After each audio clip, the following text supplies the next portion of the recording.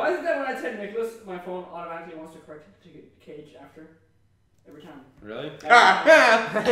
oh, oh, Oh, oh, I'm a sexy, I'm a sexy cat.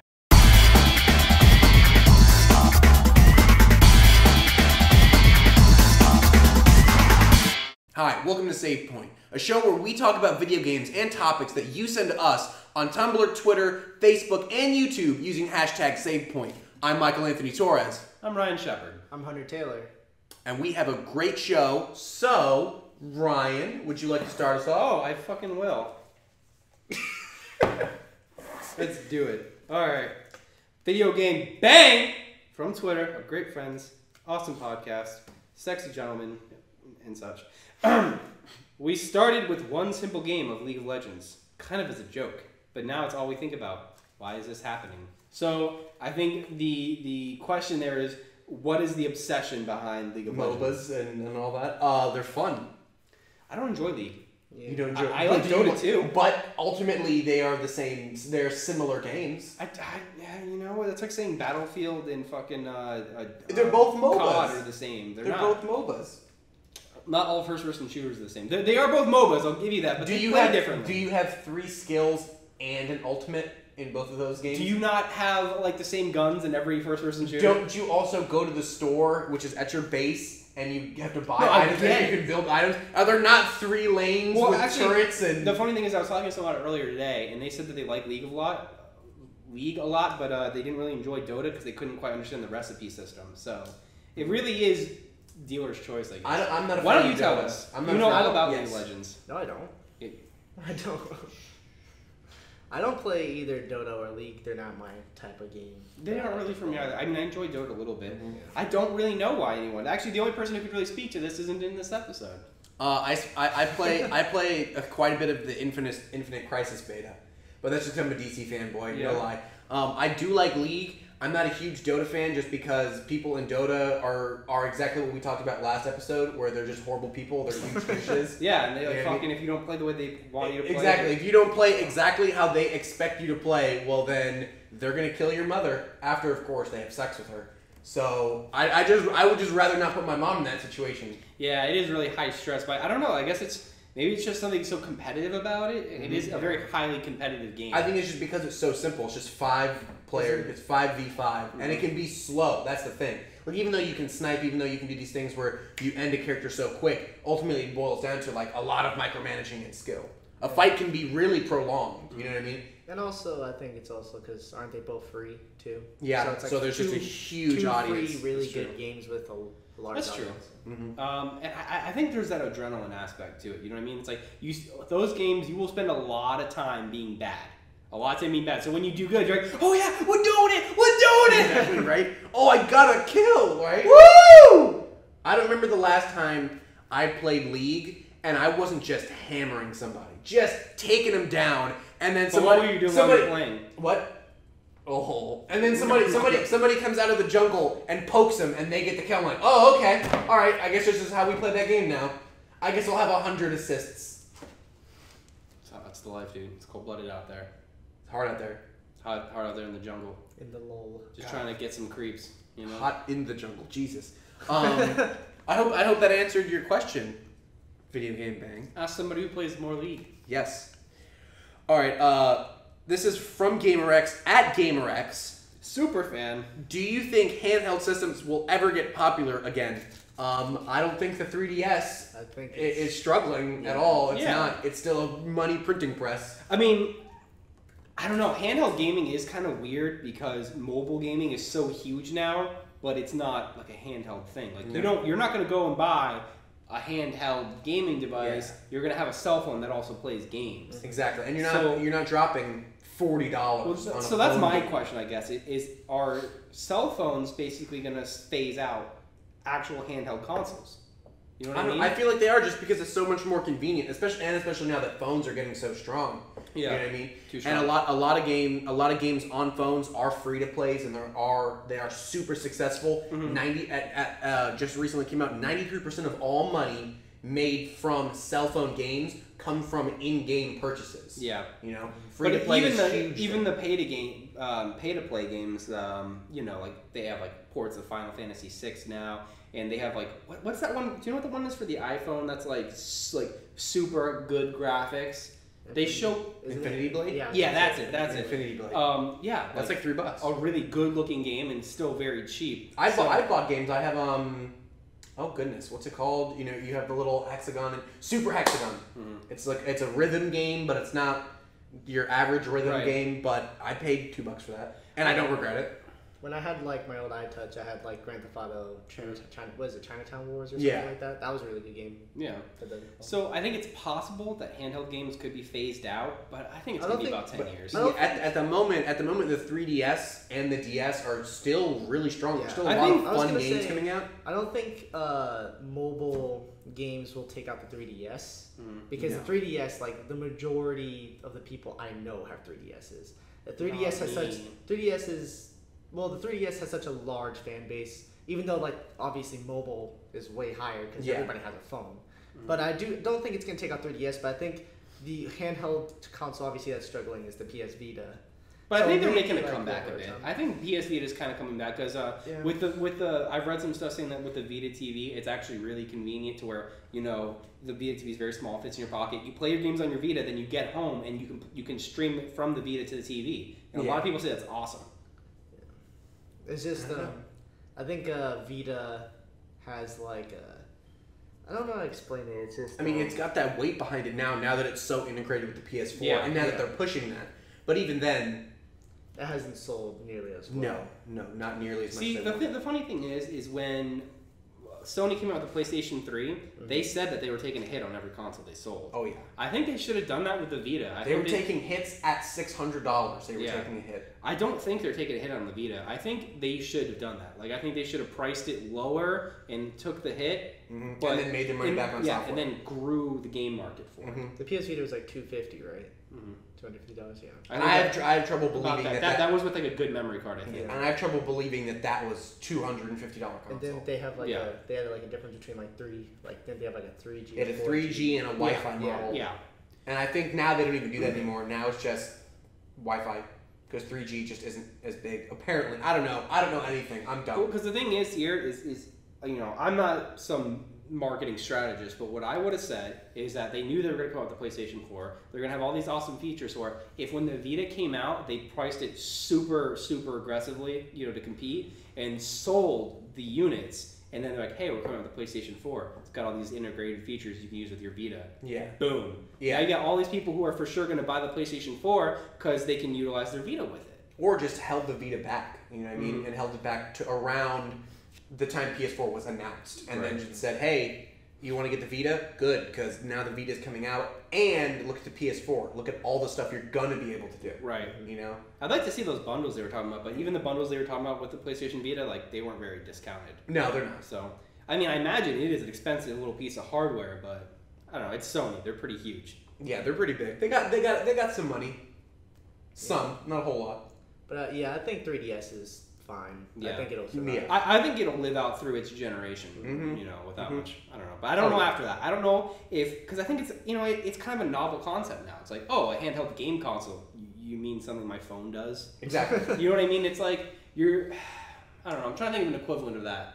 But especially now that a lot of companies are coming out with the peripherals that you add onto your phone Yeah. that have a dedicated stick Mm-hmm. and buttons, you know what I mean? That's ultimate because that's ultimately the issue with phones. Phones Yeah. are touch screens and because of that you don't get tactile control. But a lot of companies now are coming out with those peripherals that you add on. And once those become small, once those become cost effective, effective where it's not a big deal to throw it in your backpack, throw it in your purse, throw it in your pocket, and then hook your phone up to it, that's it. Oh, I think shit. that I think that eats I think that eats Yeah, the, because the you're gonna mobile you want lunch. the controller, you want Exactly. the feel. But this is kind of a tangent. But since you mentioned peripherals, did you hear what's going on with uh, Razer and Microsoft? No. Oh shit! Okay, you know Razer, like they make Yes. gaming products for PC. They also make uh, a controller for the Xbox Yes. 360, and they're making one for the Xbox One now. So, and they're, they're they have they just made a big deal with Microsoft to make peripherals for the Xbox One. So a lot of people are like, why aren't you guys making stuff for PlayStation? and the CEO of Razer said that he wants to make products for stuff that he plays. Exactly, that's what he plays. Yeah, I So I was like, "Damn, shots fired." he's like, he's like, I don't play the PlayStation. I'm not gonna make products for it. I'm like, fuck. yeah, That was straight up. off. Hashtag shots fired. Hashtag use scrub. Straight up. He's a, a very eloquent man. If you've ever seen him speak, I don't, I don't know. Does that cover it or? Yeah, I hope. I mean, I hope that covers it. I don't think. I, for now, the 3DS and, and the DS, even the DS, the DS is so strong, and the 2DS now. You know what I mean? Yeah. Those aren't going away. They're not going away anytime soon. Nick's I wouldn't- system. Yes, I wouldn't call. He loves the 2DS. I wouldn't call the 2DS a mobile like you're gonna carry that with you because it is quite a bit bigger than Mhm. the other ones, but still something that you could sit around in your house and take it around. The, Right. You know, take it around. Yeah. I don't know. My about covers it. Let's go into another topic. From Twitter, Jason O'Malley. You guys should talk about the net neutrality court decision on the next Save Point. I'd be interested in your view- viewpoints. Okay, so Good thing because you're about to get them. yeah. All right. So do you understand what what, what basically? Yes, Is, I understand what net neutrality. is. all right. So do you know what happened recently? No, I do not. Okay, net neutrality is the idea that companies cannot regulate and control how you experience the net. So basically, you can access any websites that are out there, and and and they must provide it at the same speed. So if you have a 30 megabyte download, that's across the board. Now, if you take away net neutrality, which basically this um, court ruling was to try to uphold net neutrality, or, or basically kind of like not reinstate it, but but uh, enforce it. Yeah, so keep the status quo. But it, it, it got denied. It got put down. So net neutrality is in like kind of like in the air in a bad situation right now. All right. For example, something that kind of relates to this is, and this is on the positive end of it. This is positive anti-net neutrality. Is that um, companies like AT and T want to make deals with companies like Facebook. Now, what what would happen is, is Facebook would pay AT and T, and for paying AT and T, if you access Facebook from your phone, it wouldn't be charged to your data plan. So anytime you access Facebook, you don't you don't incur any data over AT and T's network.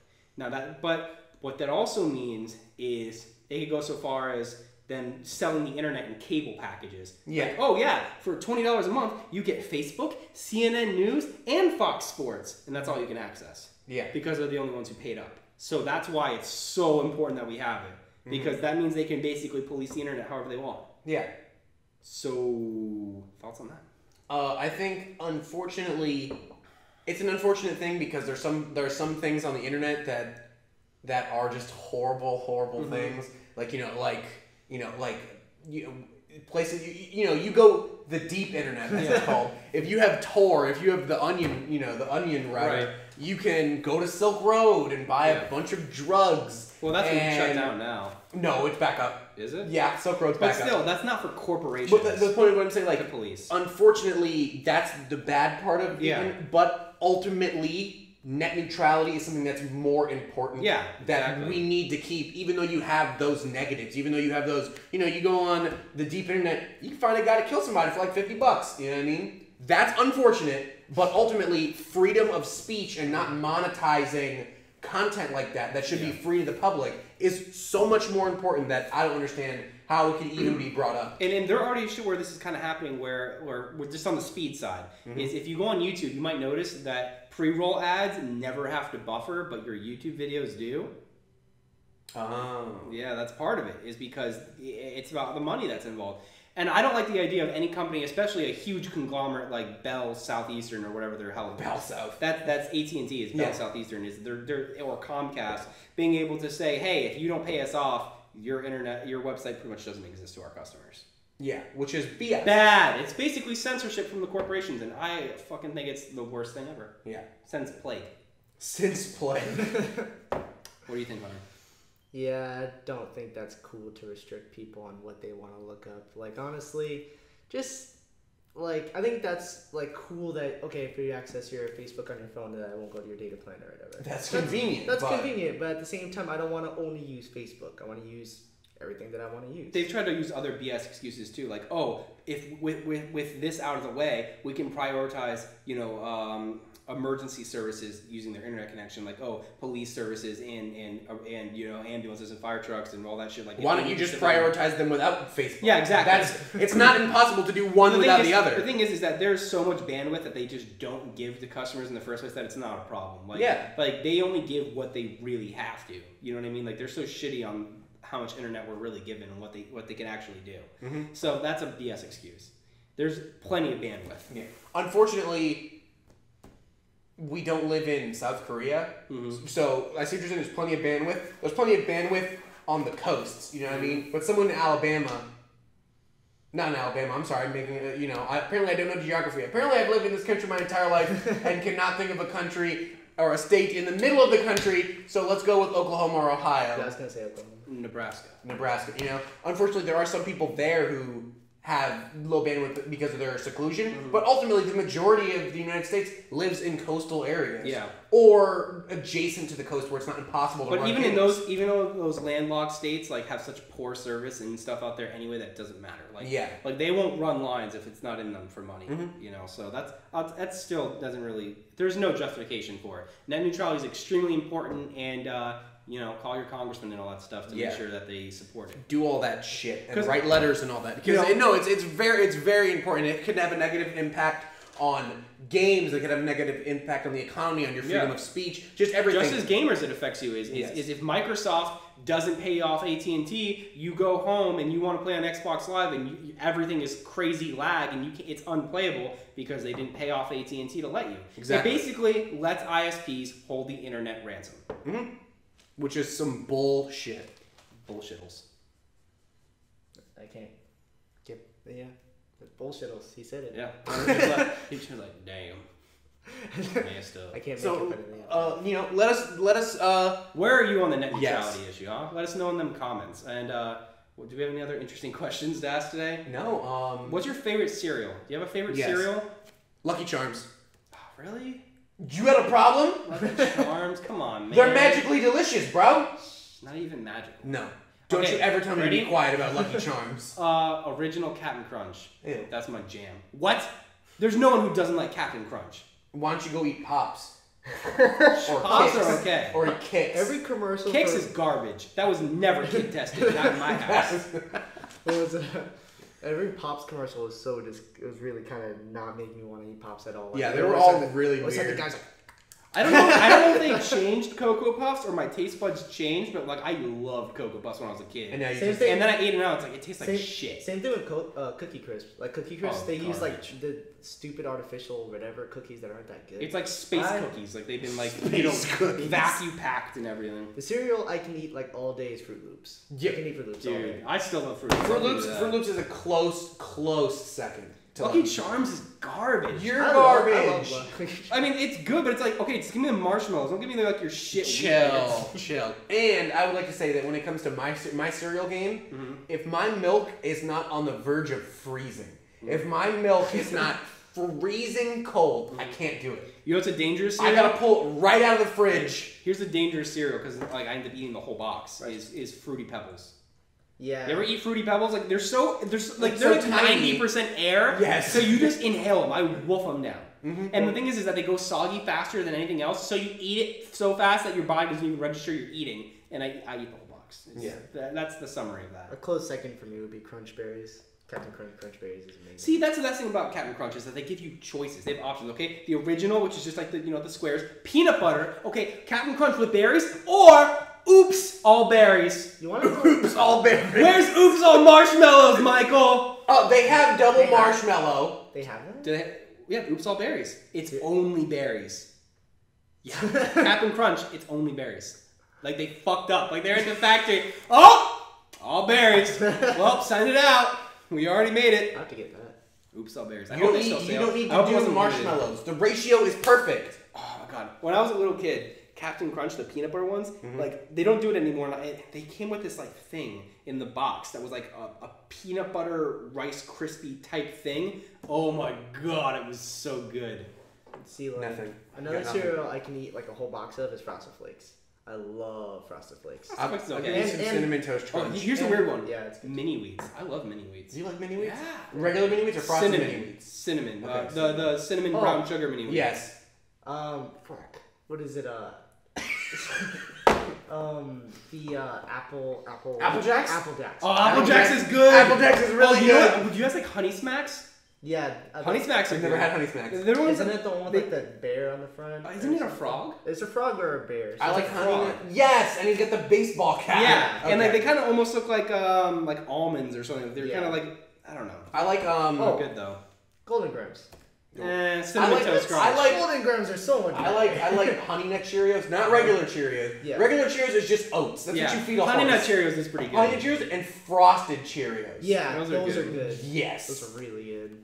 What's another good one? You don't like Pops? no. Like what, what is that fan of cool aluminum bag they put it in, and why wanna- do they have to do that? You want to know because what, they need a gimmick. Because that They're cereal good. sucks. See, like, They're good. Better than when Kix. when fruity pebbles Kix are trash. when fruity pebbles are soggy, you'll still eat them. But when pops are soggy, they just look gross. Like, Yeah. Oh no no, I, they no, deteriorate. that that and I can't have so when I'm when I'm eating my cereal, I'm doing this number where all right, so there's so I got the bowl, the milk's in there, the milk's in there, and I'm eating it, I'm eating it, and here's the thing, I, I'm doing like this stir thing, I gotta pull the wet ones up to the top. I'm not eating soggy cereal, and at any point in time is my cereal soggy. It's not okay, this is really fat. This is awful. I'm gonna say it though. So fruity pebbles, like I said, they go soggy really fast. So I put so much fruity pebbles in the bowl that most of it is like an island. It's emerged from the milk, so it's on top. So you can just you can you take your spoon and you just get the dry one that's like land, you know, built up, and then you scoop in the milk and you're good. Reminds me God, I'm hungry now. I don't know. I could eat some cereal. when you guys were talking about Kix. It reminded me of uh, Donald Glover's stand up when he was saying that Kix is like the hand jobs of cereal. It It's like is. this is good, but you know what I really want? And then his I don't want Kix. have you heard saw his stand up? Yeah. And then Yeah, like he said weird. his Is brother, weird weirdo? his brother, it was weirdo. Yeah, weirdo, weirdo. His brother loved sugar and everything, and that they got the Kix and like the cocoa puffs Yes, and went and she- put a little in him. shook it up. I was like, there you go. And he was Oh, like, yeah. oh, you bitch.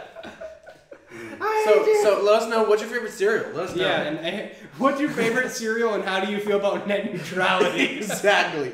Two of the most important questions of our generation. Yeah. generation. most important things you can be asked right now. Also, if you're eating cereal, um, tell us. Right now. And uh, don't forget to like the video, subscribe to the channel, and um, All that jazz. all that jazz. And all that jazz!